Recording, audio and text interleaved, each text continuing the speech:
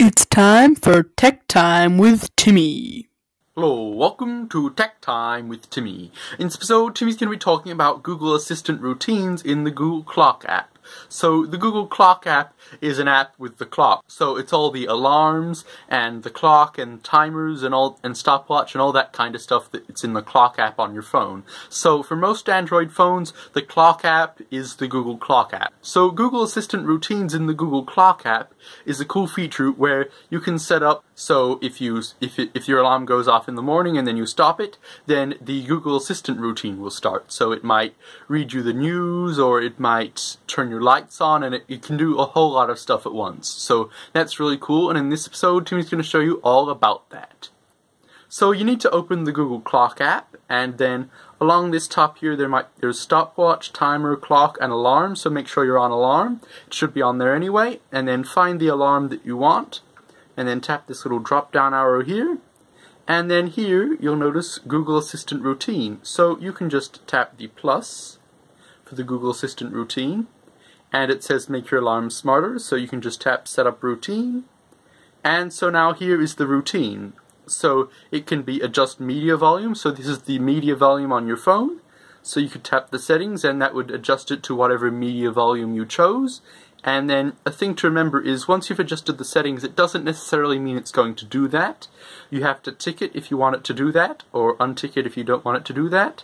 So at the moment, if you go into the settings, it's set to 50. So if you tick it, then every morning when you stop your alarm, then it will set the media volume to 50. And you can adjust the lights, so you might want to turn the lights on or off or something. So that's a whole lot of stuff you could set up there. And then remember, once you've chosen to turn the lights on or off and whatever, you need to tick that as well. Or you might want to untick it if you don't want it to do anything like that. If you have a Nest thermostat, you can adjust it here and stuff like that. So that's really cool, but Timmy doesn't. You can ask it tell you about your commute, so you can tap on there and it will and you can customize all about your route, so it'll tell you about your commute to get to work. And so you can tick that or untick it, whatever you want, and then you can have tell me about today's calendar, so anything, it'll tell you any events that are on your Google Calendar for today, so that's really cool, and tell me about today's reminders, so that's basically the same thing, and then um, if you tap on setting of take phone off silent, if you have your phone on silent overnight, you might want to put the ringer back on in the morning once your alarm goes off. So if you want to do that, you can choose what volume it will be here. And then you can choose to do that or not do that if you want. And then you've got and then play. So once it's done all that routine stuff, it can then play the news, podcasts, audiobook, or nothing.